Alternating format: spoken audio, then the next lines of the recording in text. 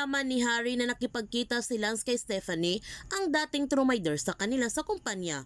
Ipinalam kagad ni Harry kay Vito na kumpirmado may balak kumala si Lance sa kanilang kumpanya at sinusubukan pa niya itong kumbinsihin kanina pero buo ng desisyon ni Lance. Kinabukasan, tinawagan ni Harry si Vito at sinabihan niya ito kung bakit na doon si Jasmine Flores sa port.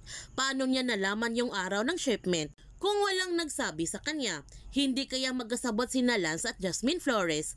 At isa pa, bakit may kontak pa si Lance kay Stephanie? May sabuatan yatang nangyayari. Nagsisisi naman si Vito na binigyan niya ng pangalawang pagkakataon si Stephanie nung naging party ito sa pagtataksil ni Tyrone. Ang sabi ni Harry, ngayon naman si Lance na gusto silang traidorin. Kaya inutusan ni Vito si Harry na tapusin na niya sina Lance at Stephanie. Ito na ang kanyang pagkakataon na makabawi. Pumunta sila sa kanyang bahay para kumbinsihin ulit si Lily na umalis na sila. Ngunit sa kanyang pagpasok sa loob, wala na kanyang magina doon. Kaya tinawagan nila si Lily kung nasaan ito ngayon at kailangan nilang magkita.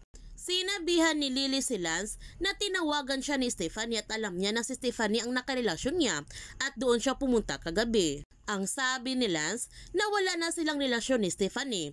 Nagpunta siya kagabi sa kanya dahil kailangan niya ng makakaintindi sa kanilang sitwasyon. Ang sabi ni Lily na alam niya at binalaan siya ni Stephanie na tumakas na sila hanggat may pagkakataon pa. Dinukot na nga ng mga tauhan ni Harry si Stephanie at ipinaalam kagad ito ni Harry kay Vito na kuha na nila si Stephanie. Sinabihan ni Vito si Harry na ngayon si Lance na naman ang kanilang kunin. Habang si Sandro, nalaman naman niya na tauhan ni Vito ang taga-custom, kaya napakadali lamang ni Vito na linisin ang kanyang kalat sa port.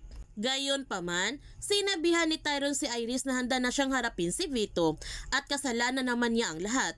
Tatanggapin niya kung anong parusa na ibibigay sa kanya ni Vito. Alam niya na hindi pa kumbinsido si Iris na nagbago na siya at hindi niya ito masisi. Dito na nga nagtanong si Iris kay Tyrone kung anong kanilang kaugnayan ni Marigold. Sinabi naman ni Tyrone na wala siyang koneksyon kay Marigold. Tumutulong si Marigold sa kumpanya, si Vitong direktan niyang kausap. Nag-aayos ng mga papili si Marigold para maaprobahan agad ng mga ahensya ng gobyerno. Nagtanong ulit si Iris kay Tyrone kung ano naman ang kanilang kaugnayan ni Stephanie. Ang sagot ni Tyrone, wala siyang koneksyon o relasyon kay Stephanie at magkasama lamang sila nagplano na magnakaw ng pera sa kumpanya. Pumunta si Jasmine sa bahay ni Lily para bisitahin ang kanyang anak at nagulat na lamang siya na dinukot sila sa mga armadong lalaki kaya sinundan ito kaagad ni Jasmine. Nagawa naman ng tumakas sila sa mga tauhan ni Vito dahil binaril niya ang dumukot sa kanya at nagmamadali siya nitong tumakbo upang tumakas at sinundan pa rin ni Jasmine si Lance. Kaya huwag natin palalapasin na kapanapanabik mga tagpo sa Lavender Fields. Kung bago ka pa channel ko, don't forget to like, subscribe, and click notification bell para palagi kang updated sa mga videos in-upload ko. Thank you for watching and God bless to everyone!